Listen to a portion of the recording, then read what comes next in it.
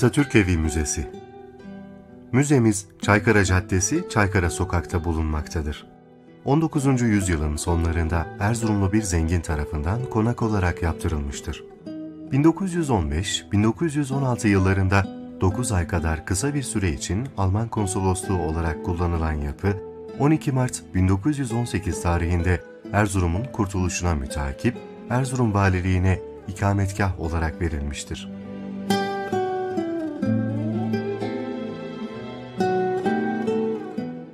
Vali Münir Akkaya'nın 3 Temmuz 1919 tarihinden birkaç gün sonra Erzurum'dan ayrılmasıyla konak boşaltılmıştır. Mustafa Kemal Paşa'nın Samsun'a çıkmasından sonra kongre çalışmaları için geldiği Erzurum'daki bu konağa 9 Temmuz 1919 tarihinde Hüseyin Rauf Bey ve arkadaşlarıyla yerleşmeleri 29 Ağustos 1919 tarihine kadar 52 gün Erzurum Kongresi çalışmalarını burada sürdürmeleriyle konak, tarihi hüviyetini ve Cumhuriyet tarihimizdeki önemli yerini kazanmıştır.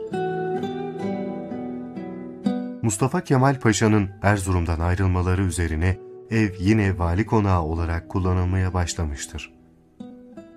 Cumhuriyet'in ilanından sonra 30 Eylül 1924 günü Erzurum'a gelişlerinde belediye başkanı Nazif Bey tarafından Erzurumlu bir kuyumcuya yaptırılan evin altın anahtarı ve tapusu şehir adına Mustafa Kemal Paşa'ya armağan edilmiştir.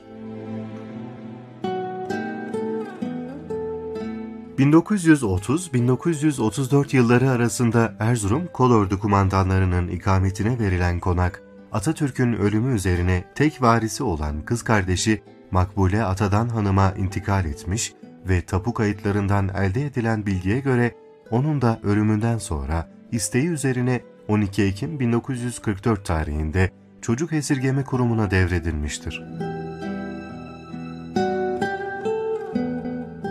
Bu kurum tarafından 1980 yılına kadar kullanılan bina, 8 Mayıs 1984 tarihinde Sağlık Bakanlığı tarafından Kültür Bakanlığı'na devredilmiştir.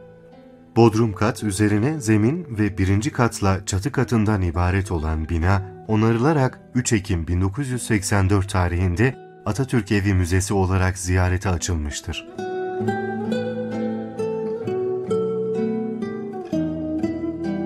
Taş kemerli çift kanatlı giriş kapısından sonra yapının sağından bilgilendirme ve sergi salonuna girilmektedir.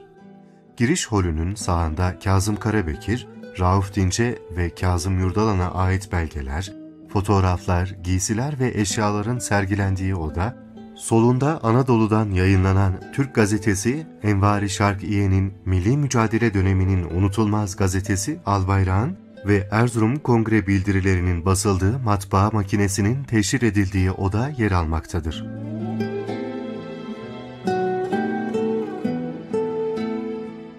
Yapının birinci katında merdiven başı sahanlığında o yıllara ait koltuk ve sehpalar bulunmaktadır. Buradan geçilen antre kısmında Erzurum Kongresi üyelerinin fotoğrafları ve özgeçmişleri sergilenmektedir. Antreden Atatürk, Kazım Karabekir ve Kazım Yurdalan'ın bal mumu heykellerinin canlandırıldığı çalışma odasıyla kabul salonuna ve yatak odasına geçilmektedir.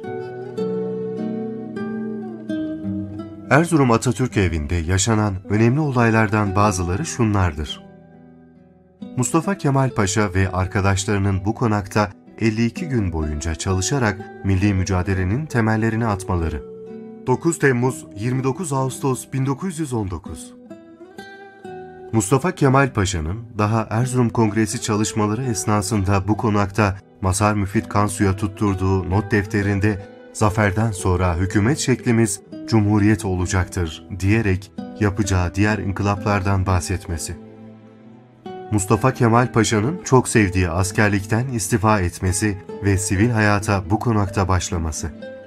8-9 Temmuz 1919 Mustafa Kemal Paşa'nın askerlikten istifasının ardından tutuklama emrine istinaden 15. Kolordu Kumandanı Kazım Karabekir Paşa'nın kalabalık mahiyetiyle birlikte geldiği bu konakta ben ve kolordum emrinizdeyim paşam diyerek endişeleri gidermesi.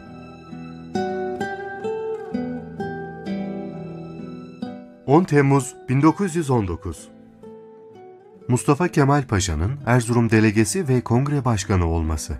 23 Temmuz 1919 Mustafa Kemal Paşa'nın Sivas Kongresi'ne katılacak olan heyeti temsiliyeye başkan olması. 7 Ağustos 1919 Mustafa Kemal Paşa'nın nüfus kaydının Selanik'ten Erzurum'a alınması. 27 Ağustos 1919 Erzurum'u ziyaretlerinde konağın tapusunun ve altın anahtarının Cumhurbaşkanı Gazi Mustafa Kemal Paşa'ya hediye edilmesi. 30 Eylül 1924